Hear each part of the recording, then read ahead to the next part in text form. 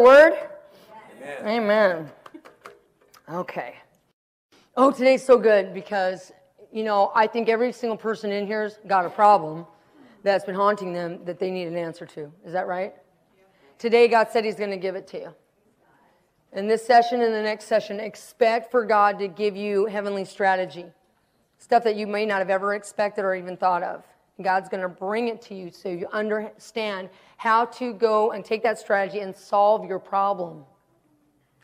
Okay, so we loose that right now into the atmosphere in the name of Jesus. That God, you're delivering the mail today. Yeah, come on.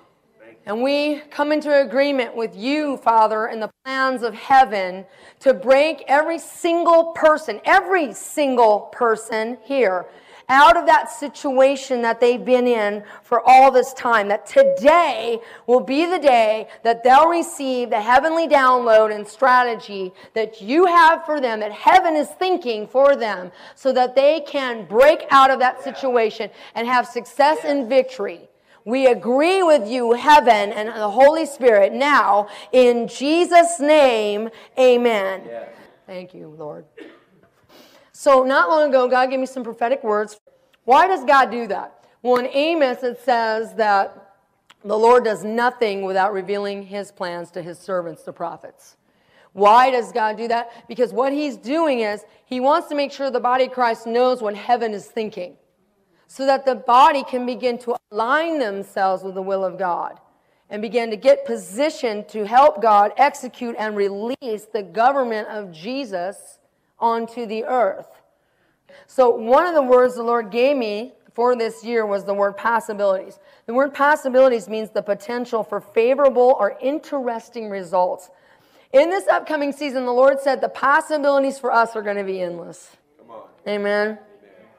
There's going to be more supernatural visitation on earth than ever before. And with those visitations, the kingdom of heaven is going to be made manifest here in ever increasing manners. What does that mean for us? It means that things you've been praying about for a long time are going to happen a lot quicker, sometimes instantly. Though the warfare is probably going to become greater and, and, and more intense, it's also going to become easier because you're going to get in a position where you are able to access the wisdom and revelation of heaven and be able to use that strategy to quickly snuff out the enemy. Quickly to go in and make a decisive move backed by kingdom strategy. Amen. You're not going to be contending for years for the same promise to come to pass, year after year, trying. Where is it? What's going on? What's happening? I'm contending, I'm contending. It's not going to happen like that anymore. You're going to become so skilled, your victories are going to become swifter. Sometimes they will be even effortless because of the things that you're going to even learn today. How is that going to happen? What's the vehicle that God is going to use to enable all those words to come to pass? When I asked God that, I, I wanted to hear heaven's answer. So I didn't try to reason it out myself. I got quiet and I waited for God to speak into my mind. And when I got quiet in the stillness of my mind, I heard Ephesians 2 6. When I went to it, it says, We are seated in heavenly realms with Christ. You see, the Lord told me that this year, more of the body is going to begin to operate, learn how to ascend in heaven and operate from their legal position there. You see, there are people in the body that are doing this. But God wants to bring it into a widespread move where this is one of the things the body is continually operating in with ease and comfort and skill. So this year, the Lord says that that is going to happen, that more of the body on a mass are going to be able to be seated in their rightful position in heavenly realms and be operating from there. What does that have to do with the possibilities being endless? Well, think about it. Everything you need is in heaven. Amen. Right. right? The answer in every situation, the cure for every disease, reconciliation for your family, wellness for your soul man, healing for your mind, wisdom for your life, strategy for your business and your ministry. It's all in heaven. Amen. It's all in heaven. See, when we learn how to ascend into heaven, we can take hold of all the enablements that are there and then descend back down to earth, bringing them here, causing them to then become manifest. Does the Bible say that that is truth, that that can be done? That that's what the purpose for ascending is to bring the things of heaven down to earth. I'm going to give you a string of biblical proofs of this right now. In Genesis 28, we'll start there. It says that Jacob experienced an open heaven. I want you to listen to the verse in verse 12 of that chapter. It says this And Jacob dreamed there was a ladder set up on earth, and the top of it reached to heaven. And the angels of God were ascending and descending upon it. And there above it stood the Lord. Okay, notice the order in this scripture about this angelic visitation. I mean, the angels are first, the scripture says, ascending into heaven. Then they're descending back down to earth. I mean, you would think it would be the other way around, wouldn't you? Isn't that kind of odd that they're doing that? Why do you think that the angels are, are having their activity in that particular order? Because Hebrews 1 4 says that angels are ministering spirits sent to minister to those of us that have received salvation. You have to understand, see, angels are already here on earth ministering to us. So, see, in the story, that the angels that Jacob saw were, were already at work down here because the first thing they did was ascend into heaven. So, you know that they were already here at work. So, when Jacob saw the ladder that day, the scripture says that the Lord was at the top of the ladder and he was speaking promises over Jacob. So, what was happening? When the Lord would speak promises over Jacob, then those angels that Jacob saw would ascend first into heaven to get the things needed to make those promises come to pass. Then they would descend back down to earth to bring them down here. That's why we need to ascend. Because when we ascend into heaven, we can get the heavenly enablements that we need to cause the promises of God to come to pass, then we can bring them back down here to earth. Now, Jesus, Jesus talked about angels ascending in that order. In John 1, Jesus is talking to Nathanael, and this is what he says. He says, I assure you most solemnly, I tell you all, you shall see heaven open and the angels of God ascending and descending upon the Son of Man. There's that strange order again. The angels first ascending into heaven, and then descending back down to earth. Why? Well, again, the job of angels is to minister to us here on earth. See, when Jesus was here on earth, angels were attending him. Remember what it says in Mark 1 in the scripture where Jesus is doing the 40 day fast? It says at the end of the fast, angels came to attend him.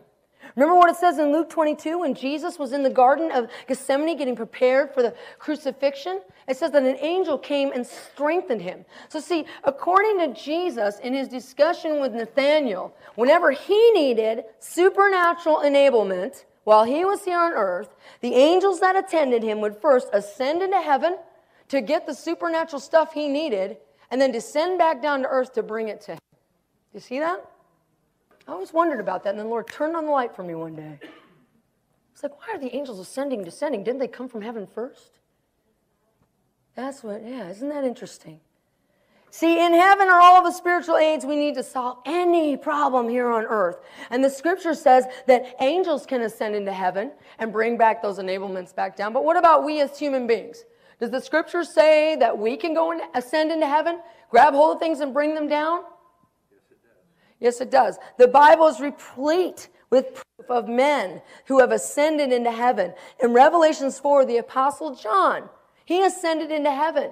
John records the experience this way. He says, After this, I looked, and behold, a door standing open in heaven. And the first voice which I had heard addressing me, like the calling of a war trumpet, said, Come up here, and I will show you what must take place in the future. And at once I came under the Holy Spirit's power, and behold, a throne stood in heaven with one seated on the throne. John was just a man, yet he was able to ascend into the throne room of heaven. In Exodus 24, the scripture says that when the Israelites were at the foot of Mount Horeb, that quote, Moses and Aaron and the 70 elders of the Israelites went up and saw the God of Israel. Under his feet was something like the pavement made of sapphire, clear as the sky itself. They saw God, they ate, and they drank. Moses, Aaron, and the elders of the Israelites went up. They went into the throne room, and they were just men. Notice the scripture says that they ate and they drank. What does that mean? That means that not just their spirit man went up, but their physical bodies actually went up too. Does the Bible substantiate that that is possible? Yes, the Apostle Paul himself says it in 2 Corinthians 12. He says this in verse 1 True, there is nothing to be gained by it, but as I'm obliged to boast, I will go on to visions and revelations of the Lord. I know a man in Christ who 14 years ago, whether in the body or out of the body, I do not know, God knows, was caught up in the third heaven. And I know that this man, whether in the body or away from the body, I do not know, God knows, was caught up into paradise. And he heard utterances beyond the power of man to put into words, which man is not permitted to utter. And Paul says twice there, whether in the body or out of the body. I don't know, but God knows. He says it twice. Why? Whenever something is said twice in the Bible, you need to pay attention to it because it's very important. So, here, according to the apostle Paul himself, human beings can ascend into the heavenly throne room, both in the body and out of the body, with just your spirit or your physical being going too. Notice each time someone went up into heaven in the Bible, it was so that they could either have an encounter with God or so that they could get something so that they could get some sort of enablement. When the elders and Moses went up, they got to encounter God. They actually got to eat and drink and stand in the presence of the Lord. When John went up, what happened? John got so much revelation when he went up, he got all of heaven's instructions for all of the seven churches. And he got the complete download for the whole book of Revelations. You see that? He didn't just go up for a visit. He got up and he got all that wisdom and strategy and enablement and he brought it back down here to earth. We're still feasting off of what he descended from heaven with. We're still feasting on it. When the man that Paul was talking about went up, he heard utterances that the Bible said were too powerful. Too powerful for words. It was revelation that was so top secret that that man could not repeat it. It was, it was stuff that men are not permitted to speak about. And trust me, there'll be some times that you go up and you'll have some stuff happen to you, and you need to ask the Lord, Lord, is this something that I am supposed to release? Or is this one of those revelations that's just for me, between me and you? We see danger in the, in the church. People are going up and they're having heavenly experiences. And I believe all these things. I mean, I've, I've heard some crazy stuff, and you know what? My spirit testifies that it's all true. But it doesn't mean that we are released to speak about it all. Do you understand? We don't want to go to charismania. Do you understand? We need to be stewards over what we're given when we go up. So all you have to do is ask the Lord, is this something that I can release and speak on? Or is that this a revelation that man is not permitted to speak? Amen. We must be good stewards. We should not, here's the thing though, we, we should not look at ascending as some flighty, charismatic, crazy tool. Let's go ascending into heaven. That's not the purpose of it. Though the experience is wonderful and the experience builds our faith, builds our hope, brings us closer to God. But the thing is this is ascending is a tool. It's a kingdom tool that God has used and given us so that we can use to bring the things of heaven back down here to earth. So that we can be like John and get all the strategy and bring it back here into this earthly realm and then release it. Each one of us is like a superhero. Do you understand that? You're a supernatural being. And superheroes wear what? Super belts. They got those utility belts on them. It's the same with you and me. We're like superheroes with a supernatural belt. And through the years, we've been learning certain tools through the biblical text, through the Word of God, and we've been taking these tools and being able to put them on our belt so that we could use them to bring the kingdom of heaven and make it manifest down here. I mean, remember back in the day when you, were to, you learned about the Word of faith? That was a tool you put on your belt. Remember when you first learned how to fast? That's another tool you put on your belt. Remember when you, when you first learned how to do warfare? That was another tool on your tool belt. Same about when you learned how to, to, to cause the glory to be made manifest. That was yet another tool. See, step by step, over all these years, through all these conferences, through all the things that we've been learning, we've been taking our tool belt and getting more and more tools and mastering the ability to be able to use those tools in a higher, more skillful manner. Now the tool belt's getting fuller, which means what? That we can do bigger jobs. You can take on bigger problems when your tool belt's full right? If you want to hang a tiny little picture in your house, what do you need? Maybe a hammer and a nail. But if you want to hang a big heavy mirror, what do you need? A drill bit, a level, a drill, the right size screw, the right size anchor, right? You need more tools to get the bigger job done. The more tools you have expertise in using, the more jobs you can get done, the more problems you can overcome. How many tools do you think it takes to build an entire house? Right? As you begin to take and collect and to master the use of all these different tools, God's going to put different assignments in front of you, bigger assignments, because He'll know that you can take them on and you can conquer that problem. You can solve it. You can bring the kingdom of heaven into that situation because you're skilled at the use of all these different tools on your tool belt. Ascending is just another tool. We're going to talk about it today, and I'm going to show you how to use it as such, especially in the second session. The second session, God's told me that you're going to be able to take the tool of ascending you're going to learn here in this first session and use it to be immediately begin solving your problems. Yeah. Immediately, today the specific things that the tool of ascending will enable you to take possession of. The first one is the glory. What is the glory? Revelations 15 says, And the sanctuary was filled with the smoke from the glory, the radiance of God, and from his power and from his might. You see, the glory is all God is. It's his presence, it's his radiance, his splendor, his character, his nature. And according to this scripture, the sanctuary in heaven is filled with the glory. It's just like the atmosphere, that air is the atmosphere of earth. The glory is the sanctuary, is, is filling the sanctuary, is the atmosphere of heaven.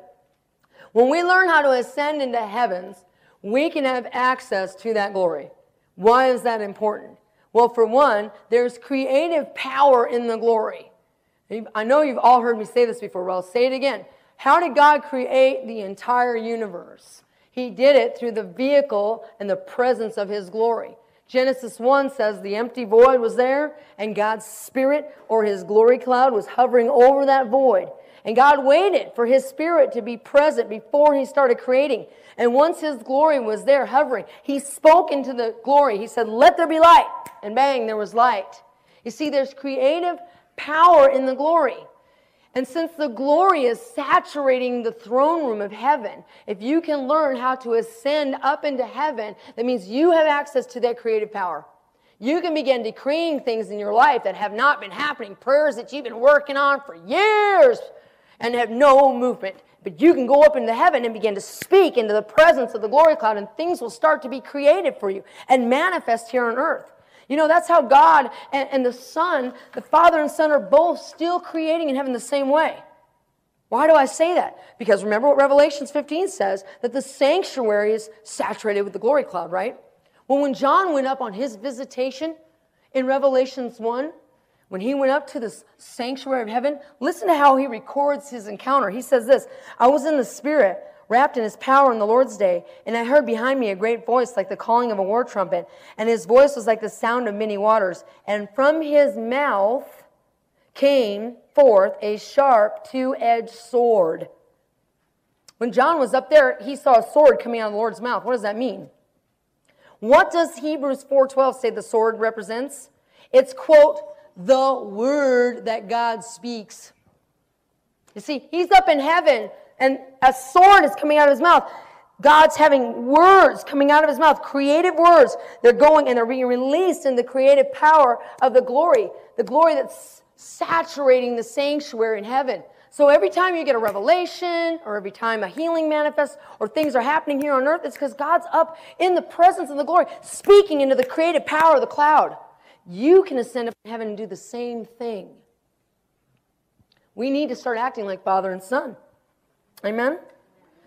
Ascending into the glory can also be used as a major tool of transformation. What do I mean by that? The scripture says that we are transformed into his image from glory to glory. That means that every time you sit in the glory, in God's presence, you actually get changed. That's good news, especially for somebody like me. All right? Because I can be a mess. Does anybody here need to be changed? Amen. Anybody who didn't raise their hand, I rebuke that lying spirit off of you now. I can be a mess. And I'm telling you what, if you ever tried, if you ever finally said, okay, God's totally revealed to me that I'm a mess in this certain area, oh my gosh, and then you tried your hardest to be changed.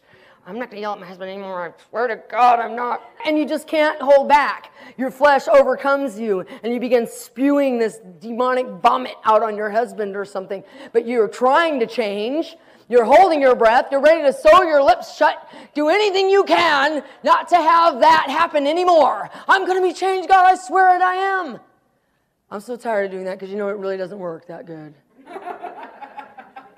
it's so hard to be changed on our own. We need to have the will, desire to come into agreement with the will of God to be changed. But we also need some supernatural help.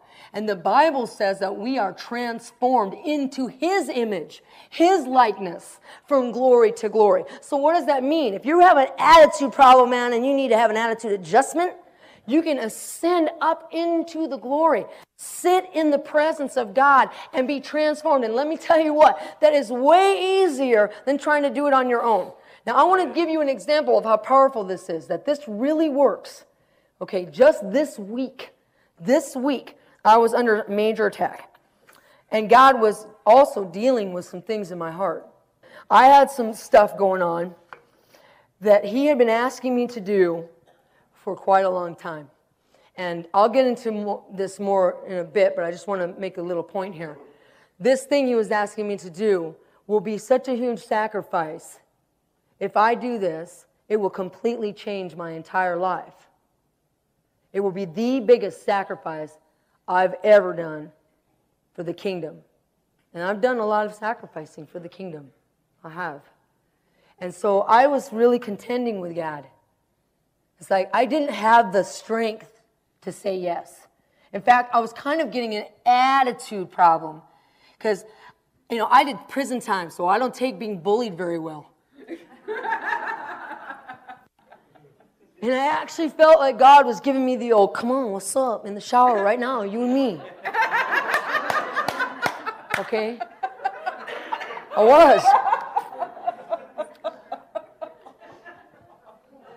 And I was responding by, like, bring it. Let's go. Wrong response. Look, I never got whooped in a fight, but I never threw down with God in the shower either. I'm sure I would get whooped on that one.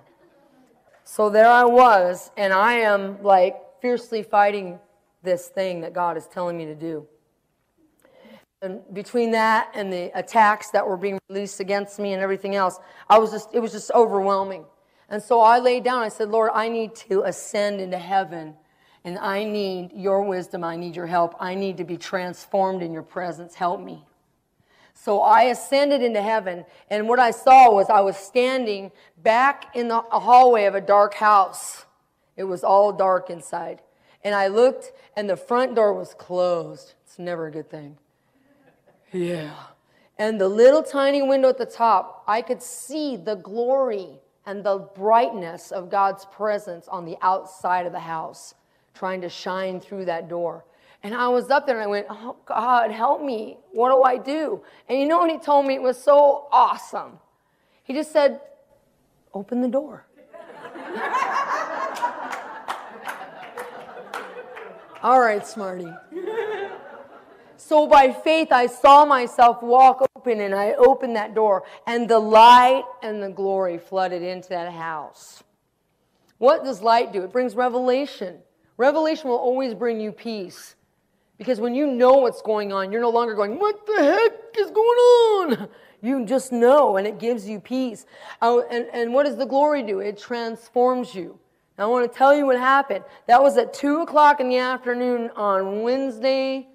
By 6 o'clock in the afternoon, I was so empowered by that encounter with glory that I was able to say yes to God, what He was asking me to do something I couldn't say yes to for years.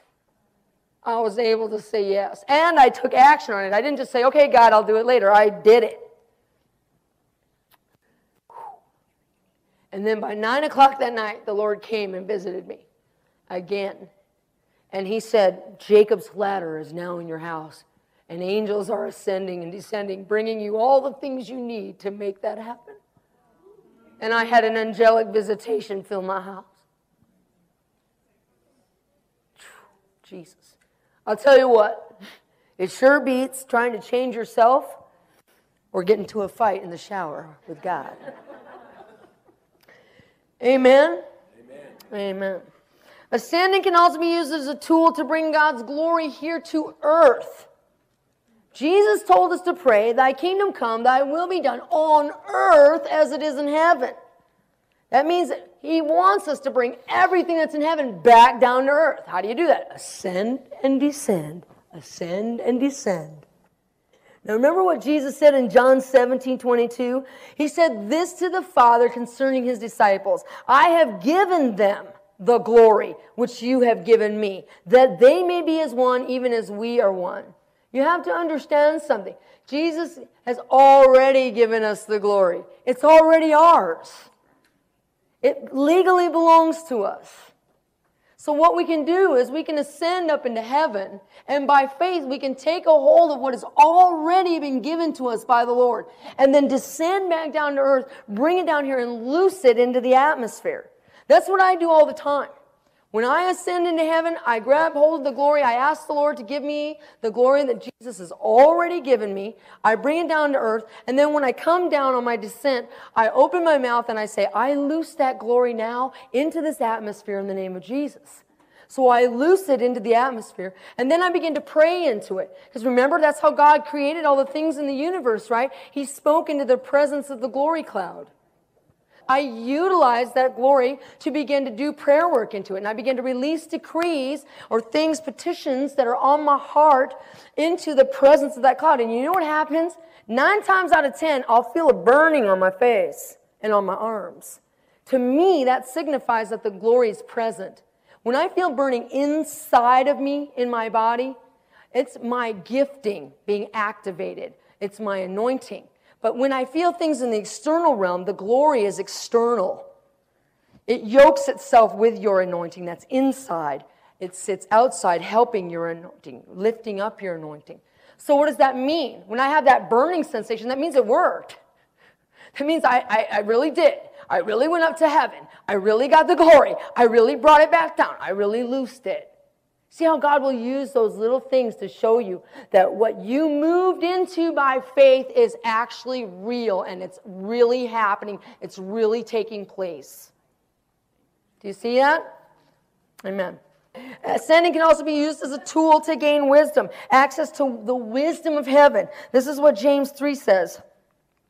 But if you have bitter jealousy, envy, and contention, rivalry, selfish ambition in your hearts, do not pride yourselves on these things, and thus be defiant and false to the truth. This superficial wisdom is not such that comes from above, but it is earthly, unspiritual, animal, even devilish.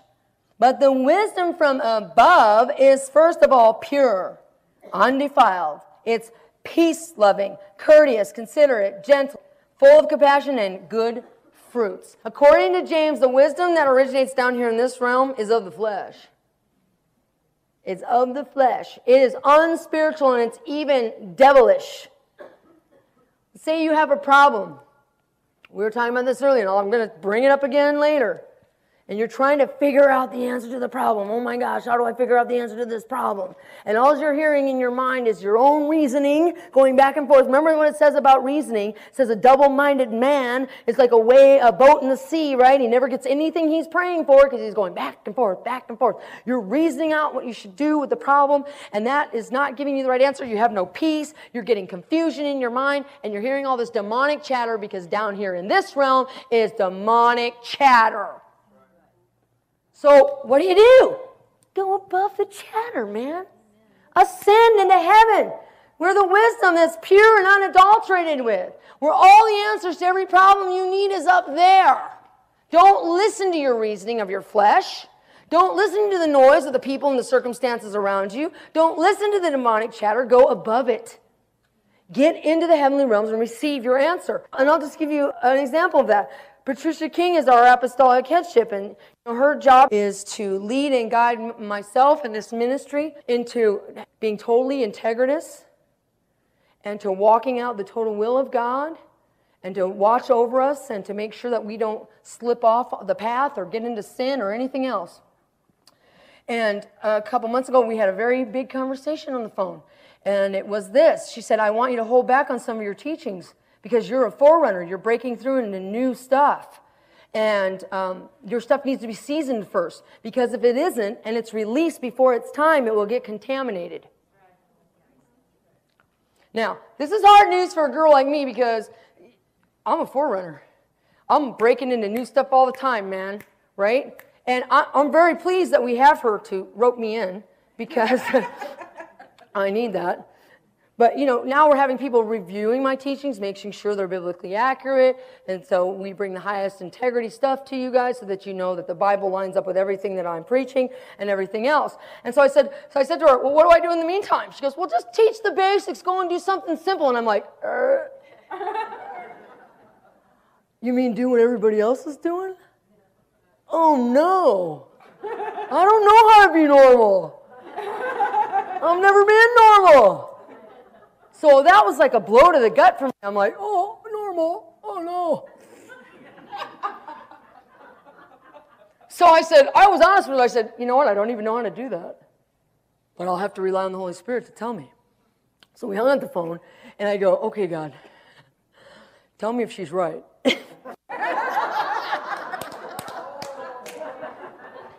now, I want to say something well, even if she was wrong, which she wasn't, I would still obey her.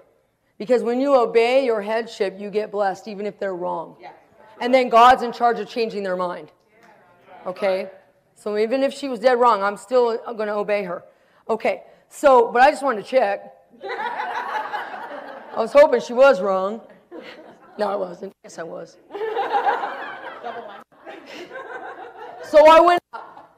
Remember, she said, if you release it too early out of season, it'll get contaminated. So I went up and I saw a vision. Saw a vision of a big plate of food in front of me. That's my food. That's the stuff I'm serving you guys, right? Big plate of food. And somebody else was at the table and they were over here. And instead of me serving it to them, they reached over and grabbed it. And then as they were bringing it over to their plate, it was actually on their fork. It dropped off their fork. They reached down and picked it up with their fingers and handed it to someone else. That's contamination.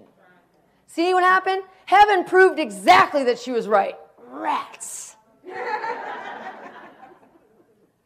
But you know, when that happens, you get this level of peace. It's no longer you contending against somebody. It's like, okay, that person was right, and now I really feel good about submitting because I know heaven's thinking the exact same thing. And I knew right then, too, that God would give me the ability to do the simple stuff. Please, God. No, really. Okay, so you see that? You can ascend into heaven to get the unadulterated truth and wisdom from heaven. Okay, thirdly, when you learn how to operate in the heavenly realms, you're over all the powers and principalities in the dark realm. This means your warfare is on a whole new level of ease. Satan is called the prince of the power of the air. He operates in this realm from his home base in the second heaven. When you learn how to ascend to the second and third heavens, you're up over him. He's under your feet for real. And you're going to have way more power over this. Let me give you an example. So I'm in Oklahoma City. No, I'm not in Oklahoma City. I'm in Ponca City, Oklahoma. And we're staying at um, the home of some farmers. They're wheat farmers. Okay. Now, the wheat farmers in this area had lost their harvest for six years straight. The entire region had lost their harvest over and over and over again. And the Lord began to speak to me that this year, that these people were going to receive the special six year blessings, which is in Leviticus 25. And I began to speak that over them, that God's saying you're going to receive a special six year blessings. And then they came back and they said, Well, you know, this year is a very important year for us because um, there are what's called extra grains in the mash of the wheat. So I guess that year, the stalk, Instead of having like bunches of twos for the seeds, there was like three or four extra seeds in each bunch. So this was like a multiplied harvest that they were expecting to happen. And we happened to be there right around harvest time. And they were praying that this year would be the year that they wouldn't lose their harvest, especially since it was such a going to be such a huge harvest. So it's just about harvest time. We're at home at, at, the, at the people's house that are hosting us, and a huge storm comes. And it's like 60 mile an hour winds, and the rain is deluging. And you know, if wheat gets too wet, it will not stand back up, so you can't harvest it. Then we get a report from another farmer who calls and said that there was a hailstorm and it was 16 miles away and it was coming our direction. And you know what hail does? Farmers, wheat farmers hate hail because hail comes and it beats the wheat off the stalk and it causes the grain to fall on the ground where the farmers can't harvest it. So we're out in the back, and here's the storm coming. And Stephanie and I were out in the back with our hostess Kevin, and we're out there, and we're doing what Jesus did, and we're rebuking the storm and telling it to be quiet and cease in the name of Jesus right now. And nothing was happening. How many of you know you can't fight stuff that's up here from down here anymore? It doesn't work. So I said, Excuse me. And I went into the bedroom and I laid down. And I said, God, you got to show me what's going on up there. Because obviously we don't know, so we have no dominion over it. So I laid down. I said, Take me up now. And man, he, he went, Bam! And he took me up so fast. I was like, Ugh! And I went, and in the sky was a black dragon and a red dragon. They were causing the storm, they were causing the hail. And so I'm up there, and the first one was, it took me just a minute, but I got him down really fast and it was the, it was the red dragon. He went and I stabbed him, and he went and he went down and he was laying on the ground like like that. I'm not kidding. Okay, and then I turned around and there was a black dragon. I was like, in the name of Jesus, what? And he went down too, just like that. And then it was over. And I came out of it and I saw a vision of a perfectly golden, ripe field of wheat, perfectly dry, ready to harvest with a big gold, solid gold Liberty Bell in the center of it. So check this out. Six years those things have been up there. That's what the problem was. Do you know what red stands for? Red dragon. Red stands for to be in the red, to owe money, to be indebted. That's what that whole area had been. Those people had hawked their lives up to their gills just to try to make it, they, they could cultivate their fields every year to try to get a harvest to come through. You know what black means? It means an area as in an area blackened with drought the assignment of the enemy of drought and indebtedness had been put over that region. And here's how demonic that assignment was. Every year, those people lost their harvest right before the harvest. They didn't lose the field or the crops like six months ahead of time. It's like, what does that mean? That all the time, that whole season, they're putting in their time, their energy, their money for fertilizer, their money for uh, weed killer, their money for the water. They're spending all their energy out there, and then right before the harvest, they lose it. It's like that assignment just sat up there and waited until the last minute and said, Ha, you're going to harvest, and now I'm going to come and take it from you. And those people have been praying and praying and praying to try to break out of that spirit of poverty and break out of that indebtedness and that drought that had put on that area for six years, and they've never been able to do it. And 20 minutes of ascending, and it was over. Yeah. They harvested. Amen. And you know what? The hostess, Kevin, who was who had us stay at her home, she called me like a few days later and she said, You're not gonna believe it. I was looking up stuff on the Liberty Bell because you saw that Liberty Bell in your vision? I'm like, yeah. She goes, did you know there's a scripture on the Liberty Bell? And I'm like, no, I didn't. I had no idea. What is it? And she goes, it's Leviticus 25. Talks about the six year special blessings in the year of Jubilee. See how good God is? There are certain things that you have to get up there to fight. There are things, when you see things happening in the natural, it's because there's something happening in the supernatural. Like if there's an area of drought or something going on, that means that up there over that region in the supernatural, in the second heaven, something's going down. And you can be down here praying all you want. I'm not saying to stop praying because that piles the ground for things to happen and it cultivates the arrival of the kingdom of heaven here on earth. But you also need to learn this technique so that you can begin to ascend up into those regions and actually see eye to eye what the problem is. Oh, there's two dragons up here. No problemo. that like the Terminator? I'll be back.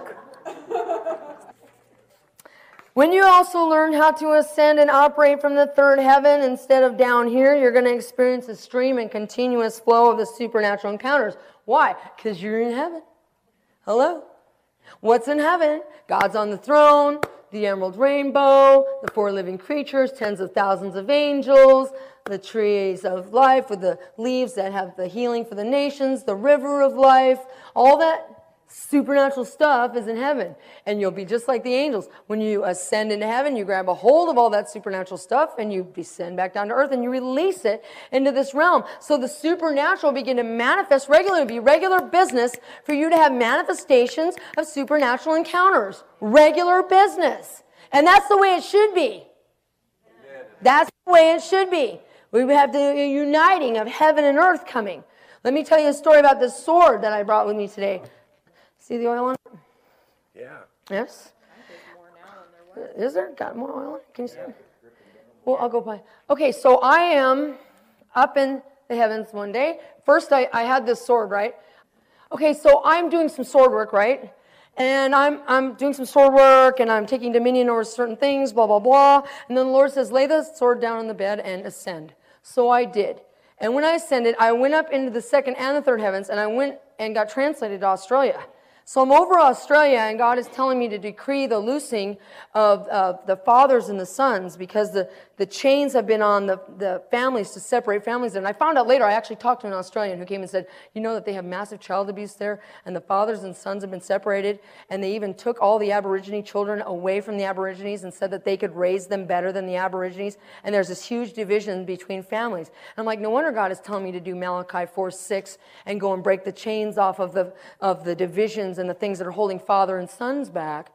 And as I was sweeping over Australia, it was like I was sweeping over and wiping out like thousands of computers that had porn on it with these with the men that were watching and, and, and alcohol bottles were being cracked in half and, and joints and dope was being flung out of their hands and I was sweeping over thousands of children and all the chains were coming off of them, right? And so then I have this wonderful experience and then I come back out of it and the Lord has me go over and I reach over and I pick up the sword and it has oil all over it. Okay, okay. I've been touching the sword. I just was touching the sword. I just was fighting with the sword. I had put my hand over the handle. I had the sword in and out of the, of the sheath. Okay, there was no oil on it when I started that. How come there was oil on it when I came back? Because what? I ascended into heaven. I took a hold of the things that are in the supernatural. And when I descended back down, I brought the supernatural with me. And the sword was anointed to say that, not to make the story any longer, but that we have a magistrate anointing now. We have a magistrate anointing over foreign soil. You can't go in and kick butt unless you've been given legal right to do it. I have the legal right now to go to other countries and kick butt. Okay? See, now that's going to become regular business. When you learn how to ascend, you're going to bring back the stuff from heaven with you. What do you think about that? Give God a hand for letting us do that.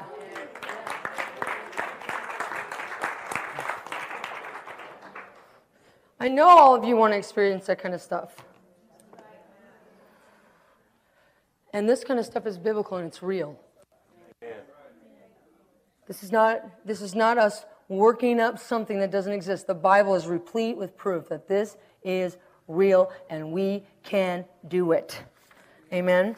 Okay, so how do you do it? How do you ascend into the heavenly realms? So I'm going to take you through biblical steps today. But first, I want to go over something that's very, very, very important. It's one of the most majorly important factors that you have to have if you are going to have encounters with God. And that is holiness and righteousness. Do you want to visit the throne room? Do you want to take possession of the things of heaven? Do you want to know the secrets and mysteries of the kingdom? Then one of the most vital, important things that you have and are walking in is righteousness. The Bible says that righteousness is always connected to experiencing the things of heaven. Let me prove it to you. In Matthew 5, it says this Blessed and happy are those who are persecuted for righteousness' sake, for being and doing right, for theirs is the kingdom of heaven. According to this verse, it is the, it is the righteous who take possession of the things of heaven. And it's not the only scripture that says it. The Bible's replete with proof that tie holiness and righteousness together with you experiencing the supernatural. Listen to what it says in Mark 5. The kingdom of God is at hand. Repent. Have a change of mind, change of conduct for the better. Believe in the good news. According to that scripture, the kingdom of heaven will actually come near you. It will manifest. You will be able to come near the kingdom also. When you repent, when you are asking forgiveness of your sins, you see, repentance puts you in the position of being able to see and take possession of the things of the kingdom. Jesus said in order to experience heaven, we must be walking in total holiness and righteousness. I want you to listen to this extreme statement he says from Matthew 5. Jesus says this, For I tell you, unless your righteousness, your uprightness, and your right standing with God is more than that of the scribes and Pharisees, you will never enter the kingdom of heaven. Whoa. According to this, you'll never be able to ascend into and have access into the kingdom of heaven unless your uprightness and your right standing with God exceeds that of the Pharisees. They did it all by the book. How can we ever exceed that? The answer is through Christ. You see, He is our righteousness. One of that scriptures say that in order to gain entry into heaven, we need to be perfect in quote, our uprightness and right standing with God. Well, it is Jesus who gives us that right standing. What does Romans 3 says? It says, but now a righteousness from God, apart from the law, has been made known to which the law and the prophets testify. This righteousness from God comes through faith in Jesus Christ to all whom believe. There is no difference, for all have fallen short and sinned and fallen short of the glory of God. You see, it's because of Christ we're made righteous. And if we continue to walk in the righteousness that Christ won for us, then we'll have access to the things of the supernatural. Okay, I want you to listen to proof in this Ephesians scripture. And as I read it, I want you to notice the order in which it talks about these scriptures. You're going to see that the order in the scripture shows that if we are washed in the blood of Christ, it positions us to be able to take hold of the things of heaven. Okay, listen. Ephesians 1 7 says, In him we have redemption through his blood, forgiveness of our offenses, our shortcomings, and our trespasses. Then the next verse goes on to say this When we are washed into his blood, he will, quote, make known to us the mystery, the secret of his plan. Then the next verse says this, and the plan is this to unify things, things both in heaven and things on earth. You see, God's bringing it together, man. He's bringing the two together. We see that example in the ascending and descending process. Ascend up, get what heaven has, bring it back down. That's how you unite heaven and earth. And according to the scripture in Ephesians, when you are washed in the blood, then and only then will you be in position to receive the secrets of the mysteries that will enable you to unify the things of heaven and earth. It's always, always, always righteousness and holiness that gives us access to the supernatural. Always. Always. You know, we've been negligent in this area. Both sides are wrong. Let me tell you. I have people stand up and leave my meeting all the time because I'm being too supernatural. I want balance.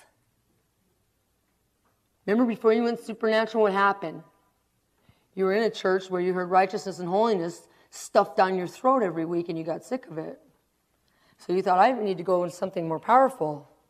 I want to see manifestations of God's power. I want to see him heal. I want to see him deliver. I want to see the stuff that's in the book of Acts and in the Gospels. I want to see that. So we moved up and out of that church and we went into what we thought was a higher realm. And you know what? This is a powerful realm. But we can't leave behind what we left behind. You know what? We need what they still are giving. And guess what? They need what we have too. There must be a meeting of the minds a unifying of these doctrines. It's like one is too extreme and so is the other. We've gone too cuckoo crazy. And they don't have the power we have. We have to revisit where we left. We have to go back there and we have to take a hold of the foundational doctrines of Christ. His holiness, His righteousness. I'm telling you what, this is key. If there's a, a big key ring, the biggest key on it is this Christ. The holiness and righteousness of Christ. And that gives you entry into the gates of heaven. Do you understand that if you don't have that key, there's going to be a fence, a barrier that goes and gets right up between you and the visitation of God. Let me show that to you. When we're living holy and partaking of Christ's sacrifice so we can be holy, then we can move into the supernatural encounters. We've got to stop wanting that supernatural so bad that we skip over that vital part. When, we don't do that, God will deny us access into the heavens. Here's scriptural proof. Listen to what happened to the Israelites at the foot of Mount Horeb. In Exodus 19, God called to Moses from the mountain. And he told him to sanctify the people because God was going to come down in the form of the glory cloud on top of the mountain and visit his people. He was going to speak the commandments to the people. So, as part of his instruction to get the people ready, this is what Moses, the Lord said to Moses. He said this, and you shall set bounds for the people round about, saying, Take heed that you do not go up onto the mountain or touch the border of it, for whoever touches the mountain shall surely be put to death. So go down and warn the people, lest they break through to the Lord to gaze, and many of them perish. See, the people, man, were so anxious for that supernatural encounter. They were so anxious to see the Lord that barriers had to be erected at the base of the mountain, and the people had to be warned not to cross over them. Why were those barriers erected? You see, at that point, the law, which it eventually would enable the people to be washed of their sins, had not been issued yet. So the sin was still all over the people. So if they crossed the barrier and went up on that mountain, their sin would cause them to perish in the presence of the holiness of God. Not only would they not get the encounter, but they would die. That barrier still exists today. We can't ascend up in the mountain and meet with God in the throne unless we're first washed clean of our sins. If you want to ascend into heaven, you must first remove the barriers of sin that are blocking your way. In Exodus 20, when Moses built the barriers and then he sanctified the people, God came down on the mountain in all his glory and he verbally spoke the commandments to the people from the mountaintop. And afterwards, this is what the scripture says listen says, When the people saw the thunder and the lightning, and they heard the trumpet, and they saw the mountain and smoke, they trembled with fear, and they stayed at a distance. And said to Moses, Speak to us yourself, and we will listen, but do not have God speak to us, or we will die. And Moses said to the people, Do not be afraid. God has come to test you, so that the fear of God will be with you to keep you from sinning. Then the people remained at a distance while Moses approached the thick darkness where God was. Did you hear that? The people didn't want to hear the law from God, they couldn't receive it. But Moses responded to them by saying, Don't be afraid. God's come to test you so that the fear of God may be with you so that you will not sin. You see, Moses understood that it was the people's sin that was keeping them separate from God. And he knew that if their sin remained, that the separation would continue. What does the next verse say? It says, And the people remained at a distance while Moses approached the thick darkness where God was. You see, the people, because their sin was all over them, were cut off from a supernatural encounter with God. But Moses, who understood the importance of holiness, he went right up, didn't he? He went right up and ascended into the presence where God was. Amen. Absolutely necessary element for you to be able to ascend in God's presence. If I were you, I would practice being washed every day. And you say, washed every day? Well, once I'm forgiven and I receive Christ as my Lord, why would I have to do that? Some people don't think that you need to ask for forgiveness every day of your sins. Well, I disagree. And why? I'll give you an example in the natural. Let's say I came to you and was a real punk and did something totally, totally nasty and mean to you. And then later on, I came up to you and said, Well, you know, I don't really need to say I'm sorry because I was forgiven of all my sins when I received Christ as my Lord and Savior. Would that go over very well with you? Thens would be throwing downwards in, in, in prison. Okay? Do you understand that it is when we go to people and ask for forgiveness that our relationship with them is restored? It's the same thing with God. If you sin after your salvation experience, you're not going to lose your salvation. But there is a barrier that gets erected between you and God. And you need to remove that so that the relationship can be restored. Remember what Jesus told us? He told us to pray, Give us this day our daily bread and forgive us our debts. Meaning, pray this prayer every day. Pray for forgiveness of your debts every day. Before I go up, anytime before I go up, I practice being washed in the blood of Christ. Now, we talked about this earlier. You know, God has been really on me to do something specific, and it was probably the hardest thing I've ever had to do in my life. I knew it was going to completely, dramatically alter my entire existence. And I was going to have to give up everything and sacrifice everything in order to do this thing. And my life would never be the same. And I fought God tooth and nail on this thing for quite a few years, actually. And He gave me grace in the beginning. He let me contend with Him. But after a while, my contending became straight disobedience. Disobedience is sin. And I remember the day, it was just this last week, when, when my contending turned into sin and it crossed over that line. I woke up, and you know what the first thing I heard was? The heavens are shut. I don't know about you, but I can't live without an open heaven. I can't, I, I, I won't receive the wisdom I need. I can't minister. I can't help any of you. Won't be able to help myself no matter what. I won't be able to help any of you. I have to have an open heaven. When I went before the Lord and I had a visitation and, and He helped me and He changed me in His glory and I came to repentance and I agreed to do what He was telling me to do, bam! That visitation came. The heavens were open and angels were ascending and descending in my home. What happened? I removed the fence, the barrier between me and God that was at the foot of the mountain. That barrier had gone up. So I'd advise you to be washed in the blood before you spend time with God each day. And if you are, are going to move into this practice of ascending into the heavens, that is absolutely necessary. You won't be able to cross over the barrier and get up that mountain if you don't. Amen? Okay, we're going to go through these quickly. Ready? I'm going to give you the steps to ascend. So the first thing you need is the holiness, right? We just talked about that. Second thing you need to do is to cultivate an open heaven in your home. If you don't know how to do that, you have to carve out a realm of open heaven in your home, then you should get our disc, The Light and the Glory, or there's another one back there. Um, I think it's called Climbing the Mountain. Now, there's a thing that there's a difference between carving out a realm and keeping the realm open. Remember what the scripture says. Jesus said in John 1, He said, Most assuredly, I tell you all that you shall see heaven opened and the angels ascending and descending. It's way easier to ascend when the heavens are already open. Okay? So, what do you do to do that? Holiness is the one, right? Because it says that blessed are those who are righteous, for theirs is the kingdom of heaven. If you continue cultivating an attitude of righteousness in your home, it will cause the heavens to be opened over your home. Watch what's coming out of your TV. Watch what's coming out of your mouth.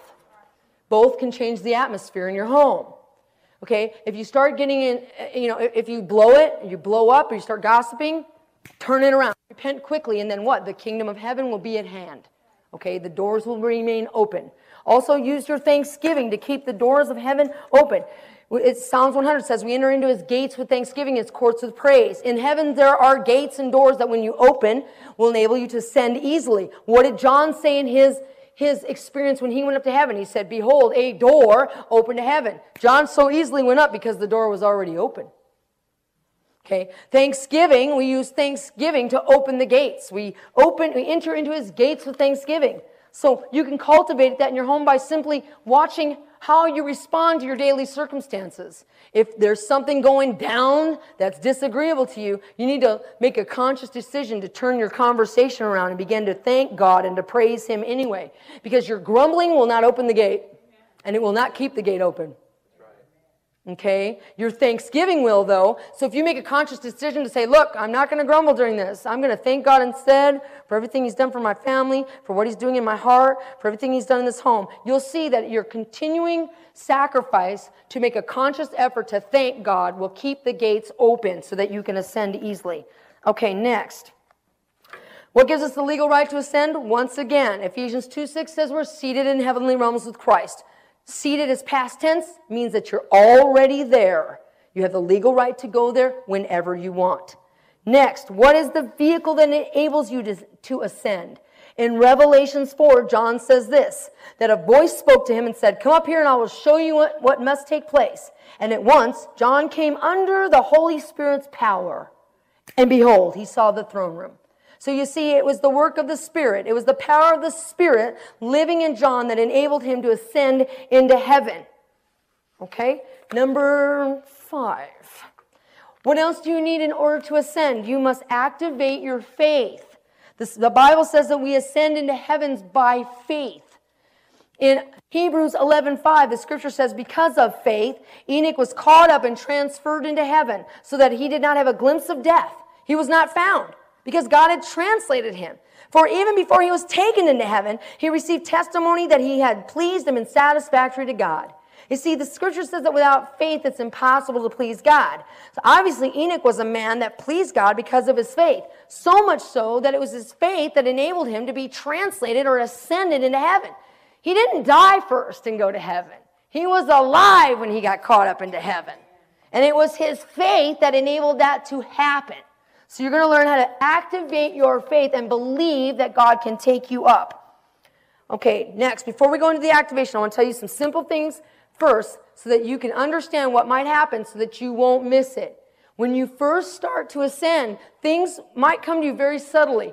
I've had things when I first started ascending come to me so subtly and they manifested into something huge. So I don't want you to miss it. And I'll just give you some simple examples. When I go up, I either stay awake and ascend or I get drawn into a deep trance. I actually fall asleep and then I ascend.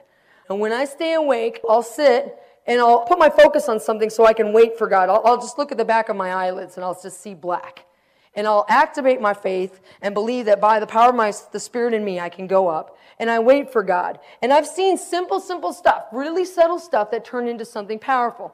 And just one example is this. Like, I, in the beginning, I would see these like smoky looking smoke rings, I guess they would look like. And they'd be coming towards me. And as they would come towards me, they get bigger and bigger and bigger. And then it would almost look like I was passing through them. And they kept on coming like that.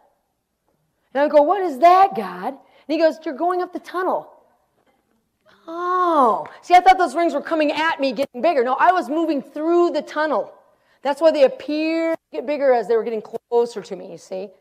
And then, not, co- not so coincidentally, when I go back down, they would go in reverse. They would get big in front of me and they go, whoop, whoop.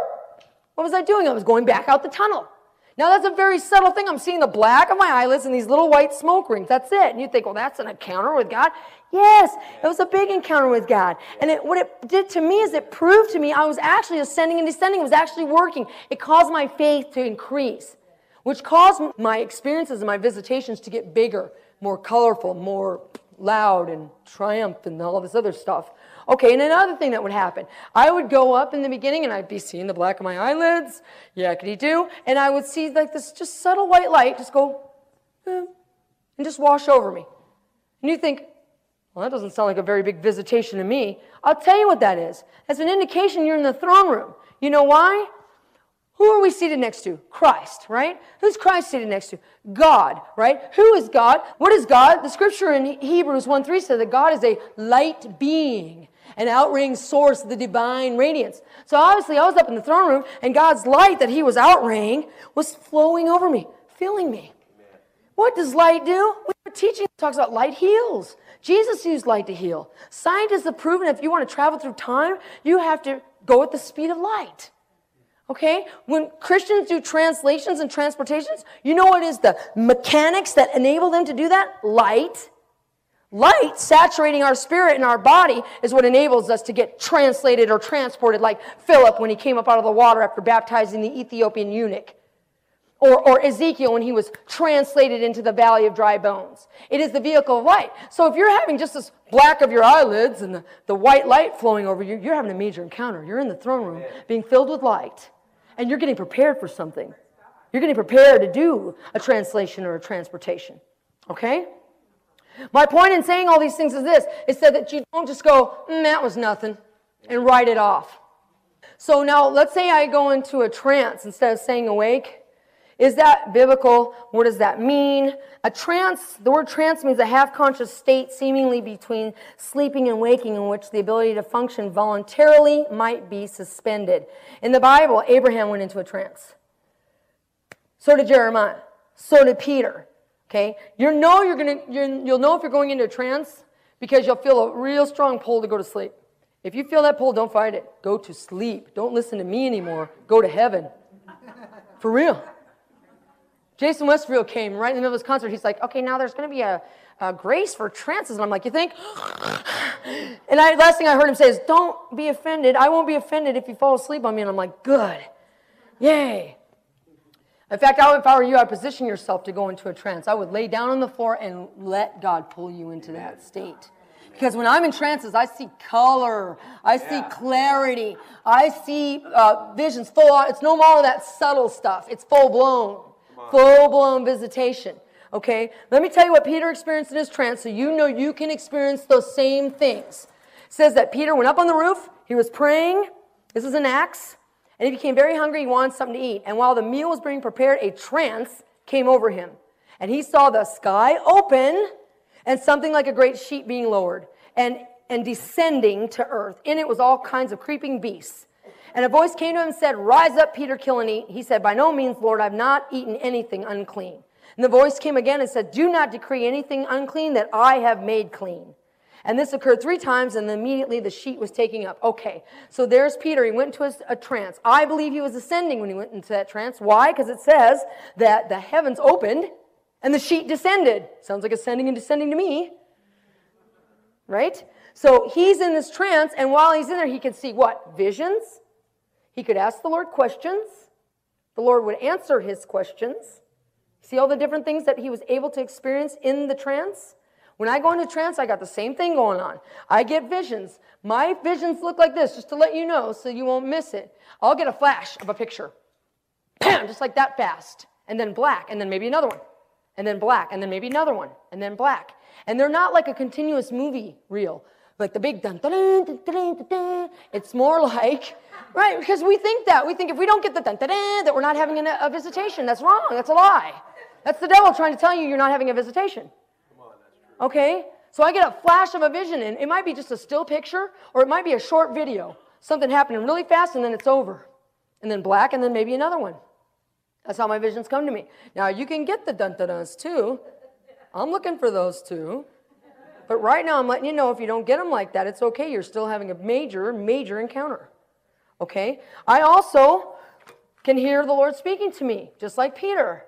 I'll hear the Lord say words. If I see something I don't understand, I'll ask the Lord questions, just like Peter. The P- Peter said, oh, I don't know, Lord, I won't do that. He, he talked to the Lord, he spoke to the Lord.